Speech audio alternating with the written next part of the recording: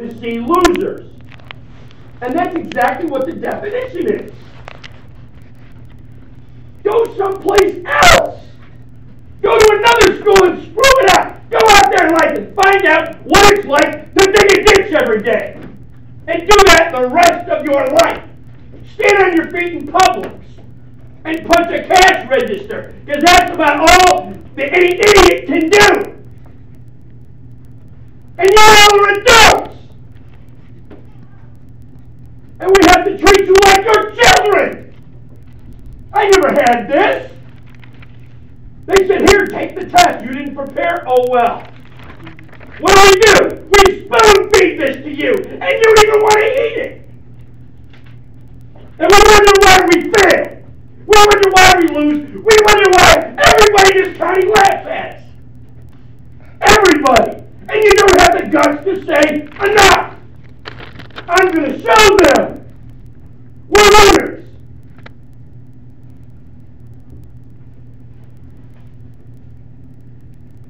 You better be prepared. You better be intense. And you better want something for the first time in some of your lives. Because you ain't going to get anything else when you get out there. I have begged, there's people going to fail this class. Some of you in here are going to be 19 years old. I was a sophomore in college when I was 19. And some of you won't even get out of here at 19. A joke, an absolute joke.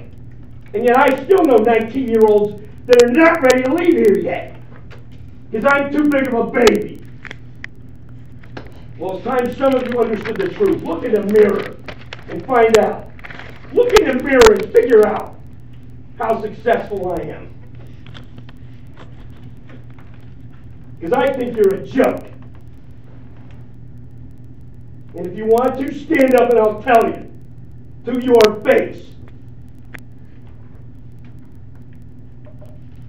Now you better be ready. Because if not, like I said, I'm going to go back and watch you sit. And if you want to giggle for the next hour, go right ahead.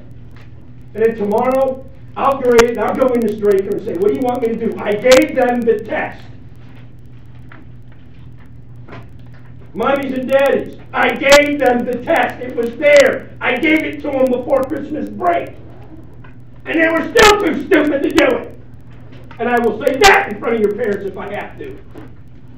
You explain it to them when you t- when you when they find out. Wait a minute, you had the test. Did you get it? You didn't do it. What's the matter with you? I was too lazy. Oh, they'll pass me. Not this guy. You're to earn it. And if you have to go back and do this class all over again because you wasted 18 weeks of your life, tough.